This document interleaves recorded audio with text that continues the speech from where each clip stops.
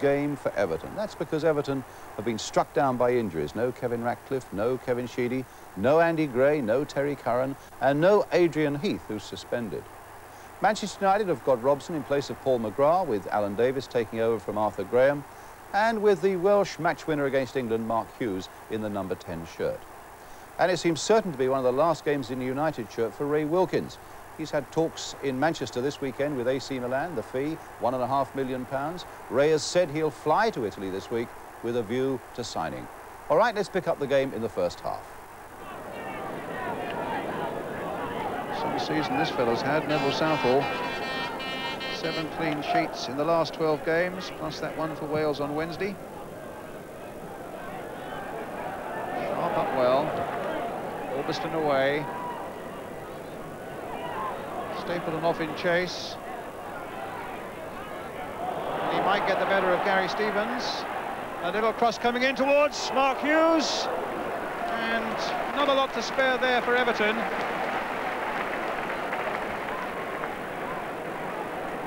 Just a little bit lacking on the far side in defence for Everton. And Stapleton got the better of Gary Stevens. His cross came in, Hughes was waiting, Southall was out and a goal kick was given.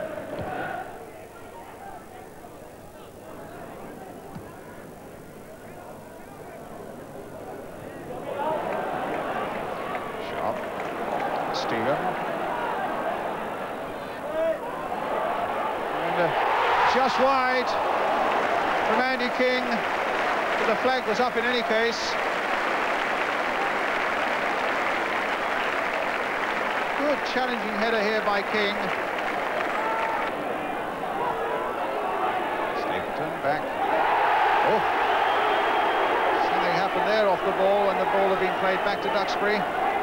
Bailey on Stapleton. And... Oh. The referee has given the free kick to Everton. Stapleton must have been the guilty one. And Bailey with the free kick. Arfield miscuing. Reid, great drive, but it was a good 10 yards wide.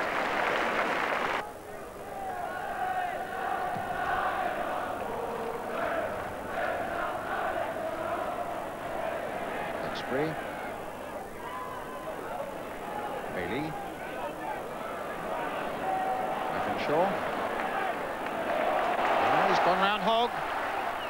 And it's a deep cross there towards Trevor Steven and Bailey gathering it well.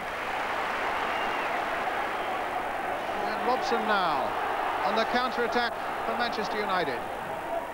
Deep cross there, Southall versus Hughes. The two Welshmen collide. It's the goalkeeper who gets it Well, that was clear-cut enough, but some good work here at the other end a moment ago by young Rob Wakenshaw. Getting the better of Graham Hogg, hurling in a cross, which Steven got at the other end of it, and uh, Bailey holding well. Norman Whiteside in the background, still warming up for Manchester United. Wilkins getting it away, Mountfield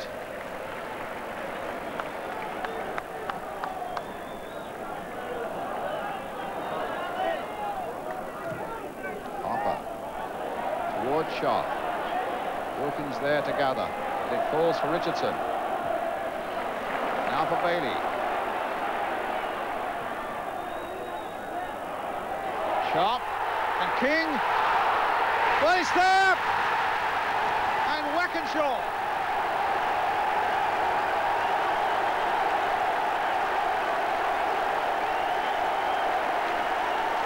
Well, there was a terrible scramble at the far post.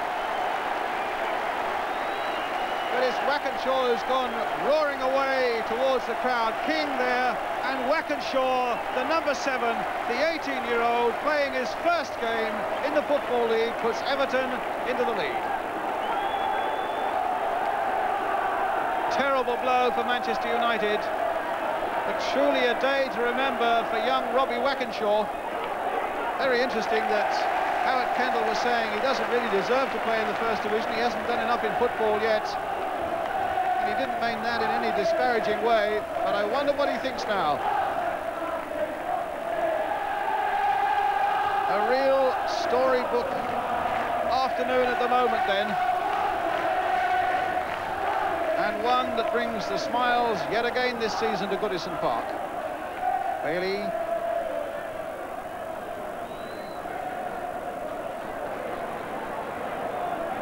Richardson. Bailey again.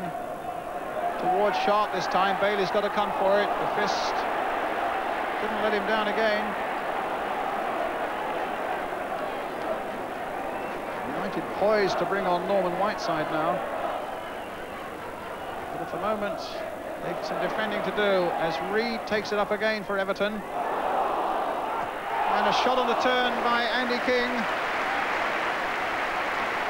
half chance which really had been supplied for him by the United defence.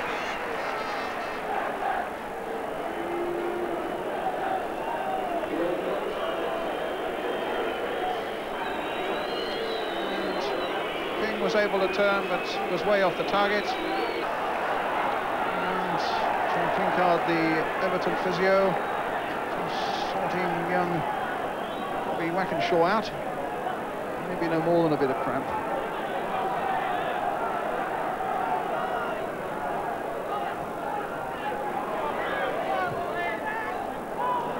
Playing it in. Robson shots! A very good save indeed by Southall. Keeper who's had really next to nothing to do, but his sharpness was there for all to see, and indeed so was Robson's. A little touch there, and a good shot, bouncing awkwardly.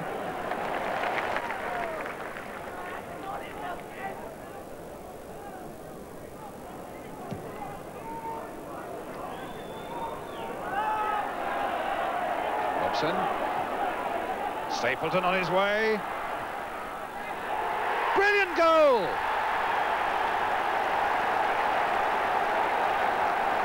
Well, he could only sit and look. It was a marvellous piece of quick thinking by Frank Stapleton. Put through, yes, by Brian Robson. A quick look up, Southall's off his line. And although Southall got his hand to it, it's in the net, and it's 1-1. United are back in the game and back in the race. Wilkins. Warren. Duxbury.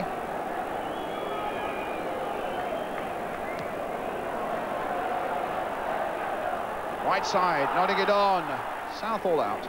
Robbie Wakenshaw, who scored the Everton goal, is going off. And the crowd are giving him a tremendous reception. First game and one he'll always remember. And now onto the field, a local lad, 18-year-old Ian Bishop, for his first game. Recently been on loan with Crewe Alexandra.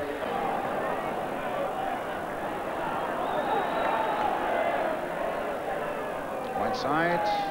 Thank you, says Richardson. Bishop. Stevens pounding it forward, but Oran's there for United and Duxbury. Reid. Harper. Steven in space on this side, but he's spotted by Mountfield, and here he is. Wilkins doing the covering job, supported by Albiston, and Stevens still got it across there. King with the shots, wasn't a very good one. And now Hughes. Downfield, Harper. Richardson, King, Richardson again. Good combination here by Everton. Bishop couldn't keep it in play, and it'll be a throw.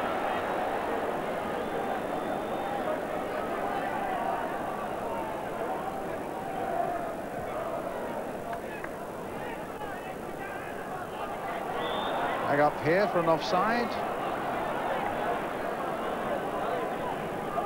Bailey with the kick.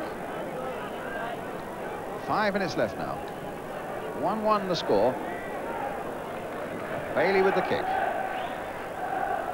Moran getting above Sharp. Stapleton, Robson, Whiteside, Moses, Wilkins to Arthur Albiston. Whiteside again. Moran. Hughes trying to get on the end of this one. It's a corner given.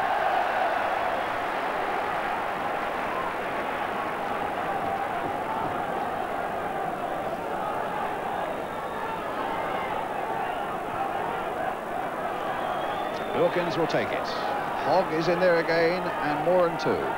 Just Albiston and Duxbury are back.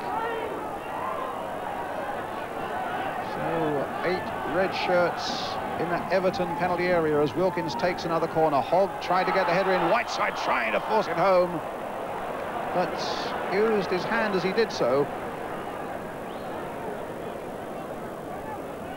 And it's a goal kick. There was the handball, clearly seen.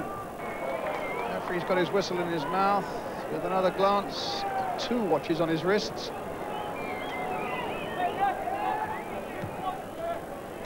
And that is the final whistle.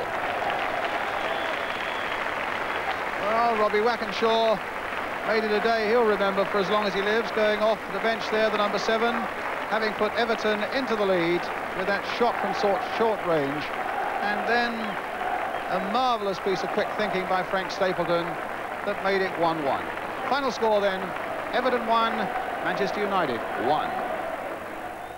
So both Liverpool... In the second half, Alan Sunderland came on for Ipswich and pulled the game round for them. His acrobatic header beating a static defence.